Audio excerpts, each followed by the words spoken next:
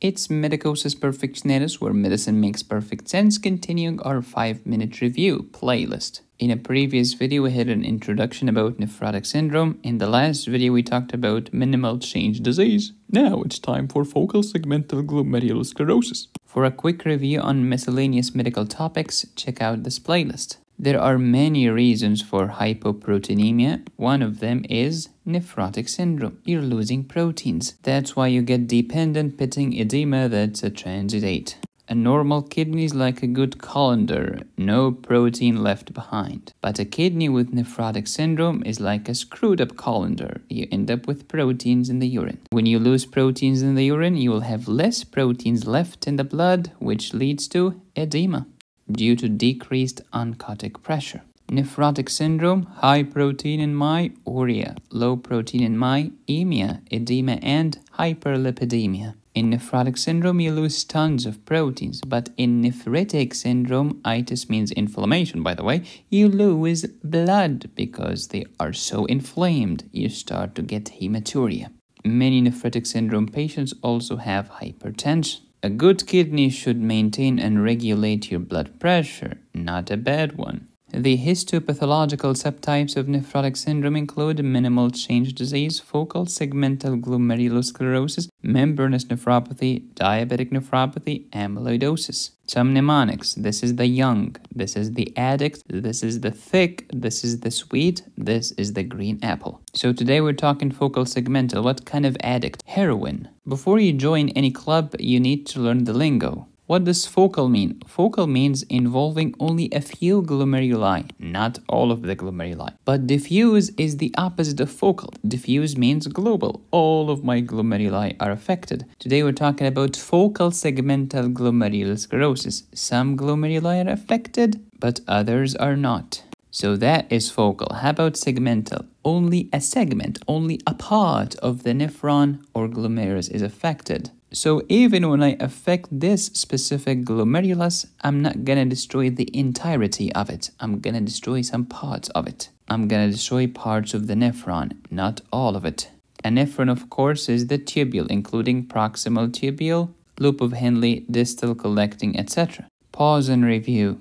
Your blood is made of plasma and cells. The plasma is water and proteins. The proteins are albumin and globulin. Where does your saliva come from? Where does your urine come from? Where does your earwax come from? Where does your sweat come from? Where do your precious crocodile tears come from? Where does your aqueous humor come from? All of them come from the blood. To be more accurate, it's from the plasma. All of this is the result of plasma filtration. If we're talking about saliva, you get the plasma. This is your salivary gland. Your salivary gland is gonna filtrate the plasma, modify the plasma, and spit out saliva. If we're talking about the urine, same concept applies. We're gonna take the plasma only. How about the albumin? Nope, I'm not gonna filter you. How about the globulin? Nope, I'm not gonna filter you. How about those doozy red blood cells? Nope, I'm not gonna filter you because I'm a good normal kidney. And then when I filter the plasma with the electrolytes that are in the plasma, I will reabsorb the good stuff back to the blood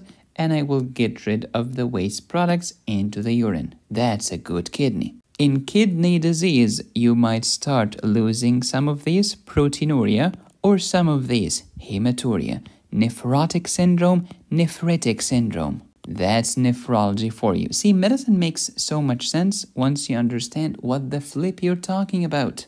Here is the blood vessel. Blood is coming here. All right, you're gonna filter only the plasma. We're gonna go this way. If it's some good stuff, reabsorb it back. Bad stuff, continue on until you end up in the urine. In order for plasma to go from the blood vessel to the nephron, you have to pass by three layers. The fenestrated endothelium, the glomerular basement membrane, and the podocytes. Plasma is filtered. Proteins are not filtered normally. Why not? Because they are bigger than the fenestrations of the endothelium and because the proteins are negatively charged and so is the membrane because the membrane is phospholipid and phosphate has negative charges. What did we see in minimal change disease? Effacement of the podocyte foot processes. What the flip are the foot processes? These are your podocytes foot processes. That's normal. But in minimal change disease or focal segmental glomerulosclerosis, they are flattened. They are not like this. They are not zigzag. No, no zigzag action. Flat. Minimal change disease was discussed in the previous video. Pause and review. Remember, the patient is young, the disease is mild, the prognosis is excellent because I do respond to steroids. But in focal frequent segmental glomerulosclerosis, the patient is older, the disease is more severe, the prognosis is worse. Why worse? Because of poor response to steroids and because about 50% of patients will end up with end stage renal disease in about 10 year period on average. Blood pressure is high, there is some microscopic hematuria. Oops, this is getting into nephritic land.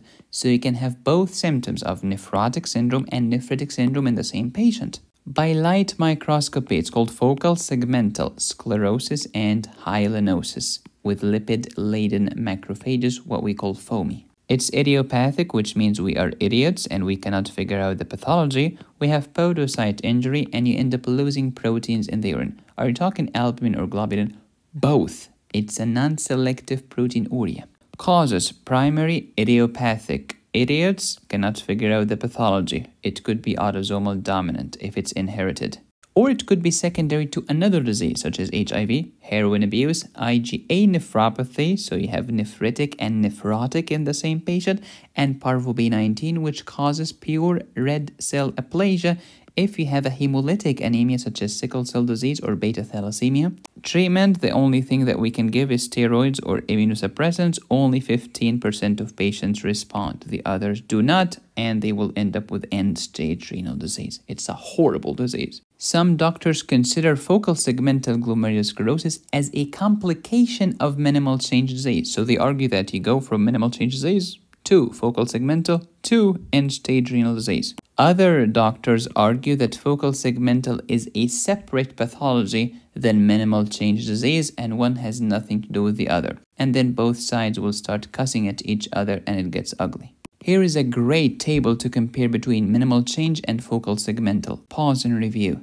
These are the five stages of chronic kidney disease. As you know, end-stage renal disease is here. It's when your glomerular filtration rate drops below 15 mLs per minute. Nephrotic syndrome, the histopathology. Pause and review. Heroin abuse can lead to focal segmental glomerulosclerosis. If you want to learn more about opiates, check out my CNS pharmacology course on my website, medicosisperfectionalis.com. If you want some kidney pharmacology, check out my cardiac pharmacology course on my website. And currently we have a discount. Use promo code KIDNEY to get a 40% off for a limited time only. Thank you for watching. Smash like, subscribe, hit the bell, click on the join button. You can support me here or here.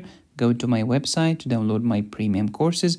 Go to Picmonic for animated medical mnemonics. Be safe, stay happy, study hard. This is Medicosis Perfectionalis, the Rolls Royce of medical education.